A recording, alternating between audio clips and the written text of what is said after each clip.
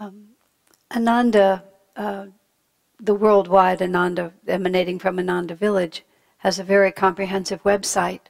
And one feature of that website is something called Ask the Experts. And people who read that website can send in questions, and various uh, ones among us have been designated as the experts, and we write answers which are then published on that website. Um, for some reason, uh, the stream of questions relating to relationships and marriage and the attractions between people seem to have been my particular area of expertise, and I've been inundated of late. I intend to protest. But, but the uh, poignancy of it is, is part of the reason I don't want to keep answering these questions. Because people are writing constantly about, uh, unfortunately, unfulfilled longing or hopes gone awry. And it's, it's, um, it's heartrending, in fact, to sort of feel people's desires being thwarted and the helpless sadness that they feel in the midst of this. Um, Paramahansa Yogananda um, spoke at one point, Swamiji tells us, in a couple of paragraphs, actually in the context of his commentary on the New Testament, about the concept of soulmates, which is something that everybody wants to know about. Every new set of new lovers declares that we are not merely lovers, but we are soulmates. We are destined by all eternity and to be together, always have been together, will always be together. And it goes on and on. When I was younger, I was more inspired by that. Let's just put it that way. There's a quality to old marriage which is so much dearer than new love that only those of us who have it really understand it. And we try to keep it kind of a secret from new lovers because they misread it. One of my dear friends once was having a, uh, let's see, actually, the fact of the matter is that David and I were having a slight dispute. And our friends were in the living room with us, and they observed that we were not sitting anywhere near each other. And being very old friends and very old marrieds, they sort of said something cheeky about that observation. And, you know, we just admitted that things had been better and would be better in the future. And my friend said, just with great surprise, he said, Well, you can't expect to always like the person you live with. You know, just like, of course, we all know this, don't we? And of course, that was exactly true, oddly enough. You know, because the real bonds of love and affection are so much deeper than the mere superficial excitement that people expect. Now, coming back for a moment to what I was talking about with soulmates, is that Master spoke about it in one place, Swamiji tells us. And he, he spoke of it as, a, as a, a reality that when the soul is created, it's created dual. And Master said before you are God realized, you must reunite with your soulmate, with your actual other half. But then, of course, he said, it has nothing to do with sexual attraction. Your soulmate may not even be on the same planet with you, that you may reunite in vision. And Swamiji says, Master never talked about it in any other place because he knew if anyone had the slightest idea that it was possible that we'd all be on the corners standing there advertising for our soulmates, you know, because of this deep longing within us for perfect love. And recently, Swamiji, speaking about this, made a very interesting comment. It just uh, it sort of apropos of nothing. He brought it up in a conversation when I was visiting recently. He said, The human being has such a deep desire for perfect love, for a kind of, he said, not merely a spiritual union, but a kind of emotional understanding and he said, God would not have planted that desire in our hearts if he did not intend to fulfill it. And then he said he thought that concept of soulmates must in fact be true on the level that Master was speaking of it. Because you see, everything in this world is a tiny imitation. Sometimes they call it a poor Xerox copy of the real thing. It's all we have, um, all we have apparently. So we give ourselves to it with so much passion and fervor You know, and it all is so amazingly and intensely real and serious to us that it's very, very hard um, just as an idea to think beyond it. So we find ourselves in this interesting conundrum as devotees where God is always talking to us through the great masters of this potential of perfect love. And then what we have around us is this desperate effort to manifest that perfect love through this exceedingly imperfect world. And the process of what I would say developing through experience a deeper and deeper faith in God's promise is what the spiritual path is all about. And a faith in that promise that's strong enough to allow us to risk everything for it. And by risking everything, I mean by constantly holding our attention at the highest reality and disciplining ourselves against every lesser, what I can only call a temptation. Now, it's important to understand in this, especially in the path that Master brought us, that this is a very common sense path. And although not really a path of moderation, in the sense that that which is being asked of us is not small. But it is a path in which we are allowed and encouraged to discover divine truth by living it as perfectly as we can in the human world. But we must never make the mistake of thinking that any kind of fulfillment, in a merely egoic sense, is really what God is talking about. I remember a friend of mine who attends this church sometimes, who is extremely family oriented in, you might call, a traditional Christian sense, became very suspicious once and came to me with this almost in an accusatory way, thinking that, saying that, I don't think you at Ananda really believe in family. And I had to admit that on one level, we don't. You know, once you add reincarnation into the picture, of course, it makes a very different uh, reality out of husbands and wives and children, even though in the moment we are deeply allied to one another and asked by God to serve each other with perfect, selfless attention. And that discipline of loving one another and bearing children and raising them conscientiously is an ideal divine sadhana, and that's why God sucks us into it, honestly. He, he fills us with this uh, impelling desire to find a mate and to raise children. And then after it gets going, what we discover is that this is really spiritual discipline.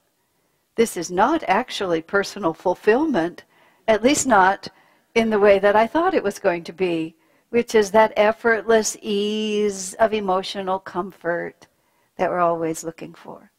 In these many letters that I am asked to answer, they're almost all about unrequited love. And the question is always, why would God give me this desire if He wasn't going to be fulfilling it? Well, honey, I can think of a lot of reasons. That's what I say first, and then I breathe in and out, and I uh, sit down at my typewriter and try to find something a little more supportive. And now, coming to where we are, which is our last Sunday service before Christmas, we have this extraordinary story of the birth of the baby Jesus. And it's just so full of charm and magic and majesty especially as the centuries have passed and people have tried to make it more and more extraordinary, and we add layer and layer of miracle onto it, and I say, why not? You know? And as um, we often think about here, the particular sweetness of being able to love a baby, you know, brings out of all of us a tenderness of heart, a receptivity to loving and being loved that almost nothing else can do. You know, in our community now, we have the imminent birth of uh, twins coming soon. And I think all of us are thinking about the day when we get to hold those little babies and that wonderful baby softness and all the things that come of it. And the reason that we're attracted to it is because we all long for that kind of perfect love. And what we have to understand, but the difficulty, of course, with babies is they turn into us.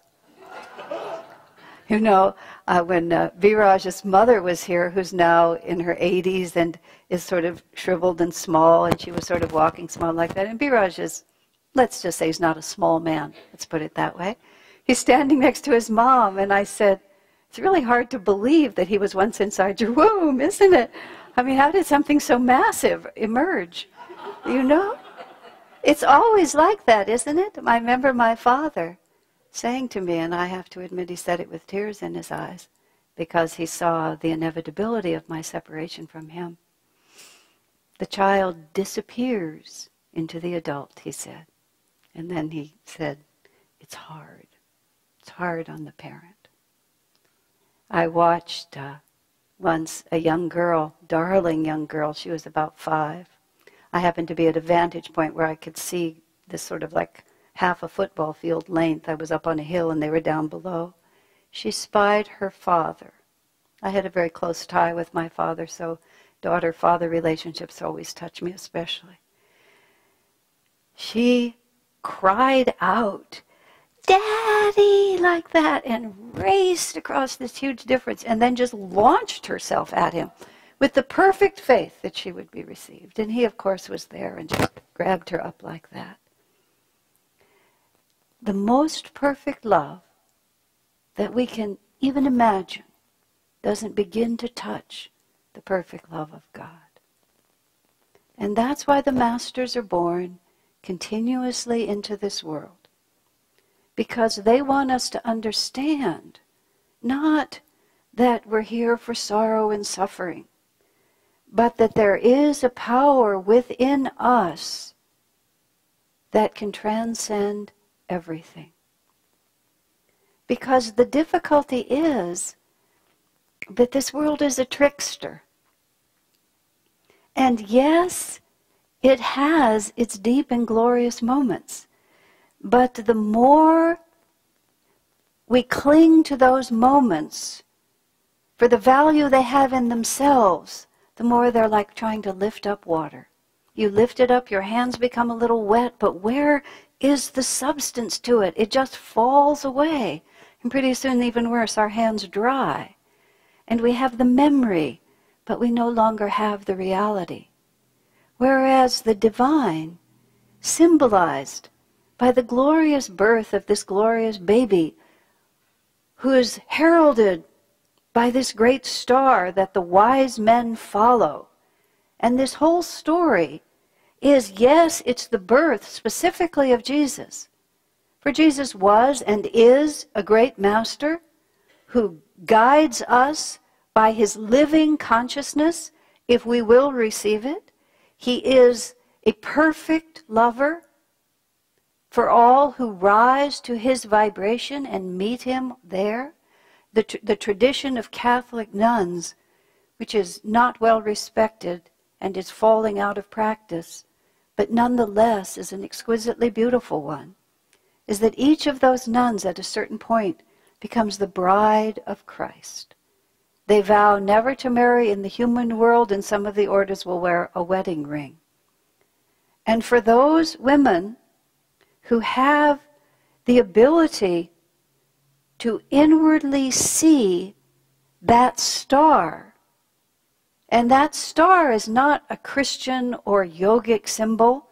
It's a reflection of the, of the inner energy. Every human being at a certain state of realization sees that star. And for every one of us, we are guided by that star to the place where Jesus is born. Jesus, the man, inhabited one body at one time but Jesus the Christ dwells always within us. And that star is the image we see in the stillness of meditation. And to follow that star, to be determined to find that star, and to find that star is to withdraw our committed, our commitment for happiness from every transitory reality until the only commitment we have is to the divine within us. Now, on one level, this looks to people like renunciation. Like, why would I do that? And it's a very good question. And until you can honestly and truthfully answer that question from your own experience, there's really nothing much to do except just go on and go on and keep trying and keep trying. But at a certain point, I presume in everyone's life in this room, it is it has come into our awareness that everything that we're seeking is not really an endless chase outside of us, but somehow the inner world is the world we must cultivate. Some, one time I was trying to understand if there was any way to describe in a simple term the quote demographic of who is attracted to this path of self realization. Naturally, we need and want to communicate our teachings in the best way possible. As we say, we don't try to convert, but we do advertise. Yogananda himself said, if Wrigley, this when he was criticized for advertising his spiritual teachings, he said, if Wrigley can advertise chewing gum, he said, I can advertise good ideas for people to chew on. That's how he put it. he had a very sort of homely way about saying it. So often we try to think, how can we let more people know? And that desire to let people know is just the enthusiasm of having a good thing and wanting to share it with others. There's no compulsion here to save the world. But if people are suffering, and these good ideas can help alleviate and clarify their understanding of life, why not? But I realize the single unifying principle is that somewhere along the way, before a person actually even becomes aware of this teaching, what to speak of actually being magnetized to it and the step further to actually begin to change their life to align to it, is that somewhere one has understood that there is an inner reality and cultivating that inner reality, if not, if not the first priority, is at least a high priority in one's life. And then once we begin to cultivate that inner reality, the question simply becomes how deeply will I commit myself to doing that? Now, as I was saying earlier, on this path that Master has given us, as is self evident by looking at our communities and our community leaders and everything about our community, you know, here we are. We live more or less like everyone lives. In fact, when a certain reporter came to our community once at Ananda Village, he was a little disappointed because he was hoping that we would look really strange and that he could get a really exotic story about how these weird people living out in the country there in the Sierra Nevada, you know, he just was very disappointed. And uh, he was sitting with Swami Kriyananda, and in one way or another, more tactfully than that, he expressed his surprise that we seemed so ordinary. And Swamiji said, Yes, except that we put God first. And he just said it like that. The reporter just went right over his head. He didn't have any idea what was said. But you see, when you put God first, everything changes. Because somewhere through all our incarnations, we've begun to understand that there is a perfect love. And that everything the heart longs for will be fulfilled but we simply have to, to seek that and find it where it really exists. It's not that people can't be kind to each other. It's not that we don't really, with, with noble um, self sacrifice, love one another. But the problem is, it's all us. And our very capacity to give and our very capacity to love is limited. And for that perfect fulfillment, we have to put ourselves in relationship to that and to, to, to that reality which can love us completely. And this is the magnetic power of that baby Jesus. Because not only does he himself love us personally now, And I don't just mean did, but does. The great lovers of Jesus, Teresa of Avila was one. Jesus would appear to her all the time. She was a nun who was married to Jesus. And she would, at the time that she lived in Spain, she was of a very high social caste. And uh, even though the nuns were cloistered, they, they could meet be, from behind a grill, all the regular society. And so she was constantly being called to the parlor by various noble visitors who wanted to be edified by her company. And she would grow very weary of their, of their worldly interests. And so she was often, she would often say, Excuse me, I must leave you now. I have a visitor waiting for me in my cell, her nun cell. And she would go there and Jesus himself would be there. She would feel his call. St. Francis of Assisi, as Master said, used to walk hand in hand with Jesus around the pathways of Assisi.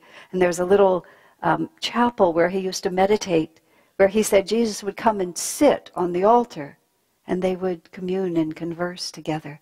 Time and space are no barrier for these great souls. Why would a woman like Teresa of Avila, like St. Francis of Assisi, who had every advantage, both came from wealth and position and comfort, both gave up everything to live lives that looked from the outside like extraordinary sacrifice and hardship. You know that the average human mind says, why? But the deeper thinking human mind says, why? Why would they? And then in the lives of those great ones, you see the promise of the Master fulfilled. What the Master promises us is seek ye first the kingdom of God, and all these things shall be added unto you. That's really extraordinary to meditate on, isn't it? You know, and it's a meditation that we can have endlessly over and over again. We picture that little infant holding in our arms, you see, and the baby for so many people. I myself always expected that I would cradle many of my own babes in my arms. It was very interesting to me. When I became serious about the spiritual path, almost in that moment, I lost interest in having children of my own. Because I saw that what I was seeking through this, I would only find through the infinite. And I don't, in any respect, impose that teaching on anyone else. It was just, even still, a marvel to me that what had been, in fact, the defining desire of my life up to that point just over for the other. But the image of the baby. Because you see, what does that do as soon as you hold that baby? You know, when you're holding the baby, especially the newborn, I know some of you have had this experience, others can imagine. It's just a moment of perfect love. Where would you be except with that baby? What would you want except that baby? What inhibition is there to the complete openness of your heart?